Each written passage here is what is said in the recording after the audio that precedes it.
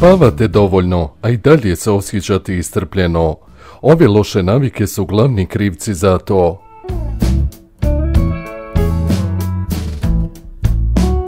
Promijenite ove navike kako bi vam život bio u harmoniji. Nedostatak sna nije jedina stvar koja troši energiju. Razne sitnice koje radite ili ih ne radite mogu vas iscrpiti fizički i psihički.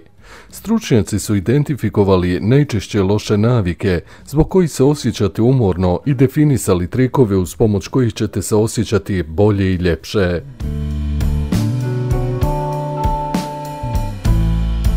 Preskačete trening kada osjetite umor. Mnogi ljudi žive u zabludi i misle da će uštediti energiju ako propuste vježbanje, ali naprotiv sport pomaže u obnavljanju energije. Prema istraživanju koje je sproveo univerzitet u Georgiji, ljudi koji su puno vremena provodili u sjedećem položaju kada su počeli da vježbaju redovno, nakon šest nedjelja su počeli da se osjećaju rezultati u vidu više energije. Za ovaj efekat potrebno je tri puta po 20 minuta vježbe nedjeljno. Vježbanje povećava snagu i izdržljivost, stimuliše srce i doprinosi efikasnijem snadbijevanju tijela kisikom i hranjivim materijama. Dakle, kada sljedeći put osjetite kako nemate snage da odete u teretanu, natjerajte sebe da makar odete u šetnju.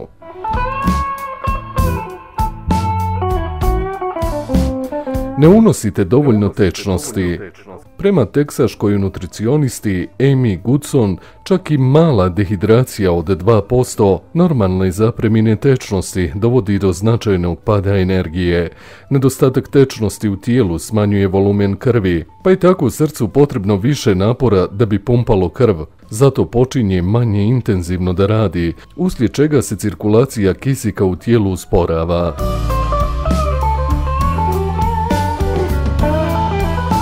Ne unosite dovoljno gvožđa. Manjak gvožđa može da vas učini razdražljivim, neraspoloženim, a i doprinosi manjoj koncentraciji. Da biste izbjegli takvo stanje, kao i da biste umanjili rizik od anemije, u svoju ishranu vrstite hranu koja je bogata gvožđem. Namirnice koje obiluju ovim vitaminom su pasulje, zeleno lisnato povrće, orasi, kao i puter od kikirikija.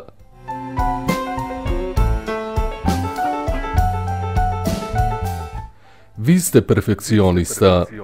Stalna potraga za savršenstvom iscrpljuje gotovo isto kao i veliki fizički napor, kaže Irena Levin, profesorka psihijatrije na Medicinskom fakultetu u New Yorku. Postavljate nerealne ciljeve koje je veoma teško ili nemoguće dostići, pa tako nikada niste zadovoljni.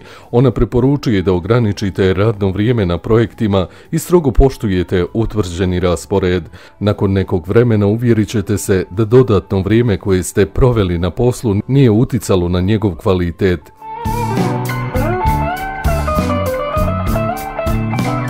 Preskačete doručak. Hrana je gorivo za tijelo, kada spavamo, tijelo nastavlja da troši energiju dobijenu tokom dana, da održava cirkulaciju krvi i kisika. Stoga je jako bitno da ujutro obezvijedite tijelu dovoljnu količinu energije. Kada preskočite doručak, javlja se osjećaj iscrpljenosti. Dan je najbolje započet integralnim žitaricama, namirnicama koje su bogete proteinima i zdravim mastima. To može da bude voćni smuti sa obranim mlijekom, ovsena kaša sa kikiriki puterom ili integralni hljeb i jogurt.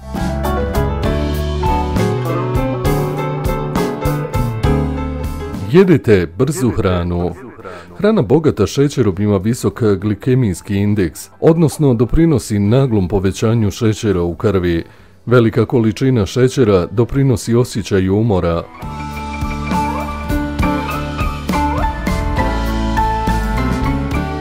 Ne znate da kažete ne.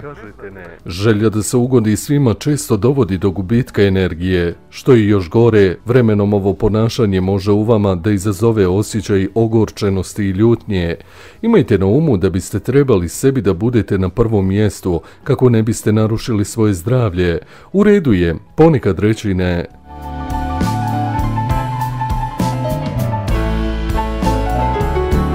Radite prekovremeno. Provjeravanje primljene pošte poslije radnog vremena može dodatno da vas iscrpe. Kada prođe vrijeme radnog vremena, sva razmišljanja na temu posla bi trebala odmah da prestanu. Slobodno vrijeme koristite isključivo za opuštanje i prokupljanje energije za novi radni dan. Dobar odmor učinit će vas kreativnijim, produktivnijim i efikasnijim. Pretplatite se na naš kanal. Hvala vam.